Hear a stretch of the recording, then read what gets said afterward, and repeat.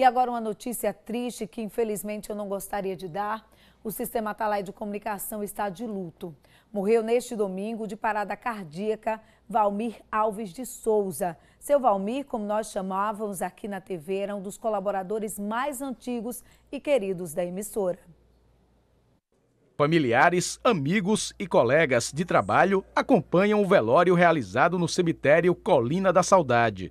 Diante do caixão, sentimentos de tristeza e saudade. 35 anos trabalhando com ele, bom amigo, bom colega, trabalhador. E era um cara bom, todo mundo gostava dele.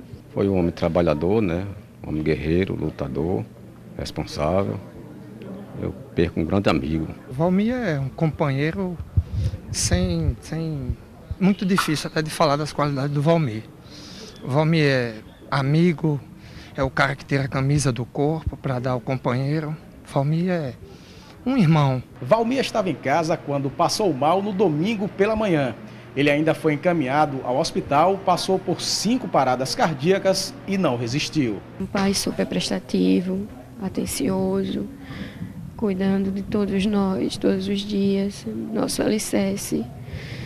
É, um homem que sempre brincava quando chegava em casa, queria ver a netinha, brincava o tempo todo, as lições que ele sempre dava na gente. Então vai ser uma saudade muito grande, não só para mim, como para todos aqueles que conviveram com ele. O motorista Valmir Alves de Souza tinha 55 anos e há mais de três décadas prestou serviços ao sistema Atalaia de Comunicação. Um funcionário exemplar, dedicado, companheiro de todas as horas. Família de seu Valmir, que trabalhou com a gente por 30 anos. Sou de casa, pessoa muito ligada à minha mãe, ao meu pai, e todas as minhas irmãs. E a mim, tudo, a pessoa mais prestativa que eu conheci. O presidente do sistema Atalaia de Comunicação, o empresário Walter Franco, a esposa, a também empresária Sônia Franco e os filhos estiveram no velório e prestaram solidariedade à família. É uma perda irreparável para todos nós. Um funcionário exemplar, um trabalhador incansável, seu Valmir, da qualidade do motorista, seu Zé Rodrigues, seu Negão do ex-governador Augusto Franco, meu pai.